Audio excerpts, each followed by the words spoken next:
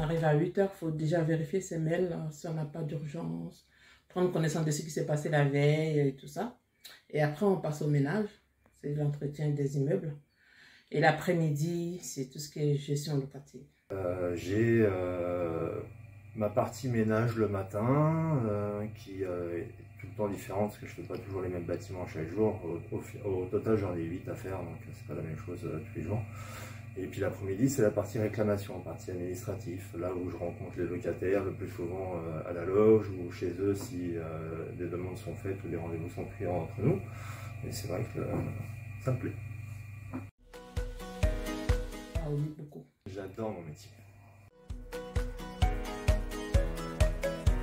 Le contact humain, c'est vraiment ce, qui, ce que je préfère le plus. Bah, le plus tout, je peux dire. Tout. Du moment où ça me permet de m'épanouir et tout, euh, tout. Le ménage, euh, l'accueil, les échanges. euh, et je suis dans une loge groupée avec quatre hommes.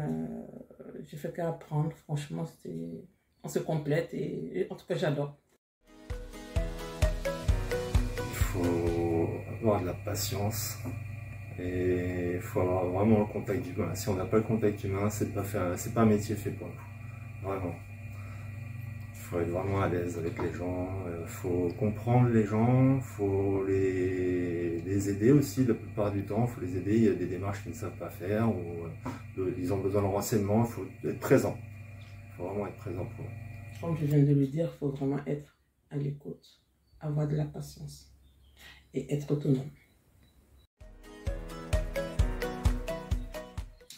Accueil, écoute, disponibilité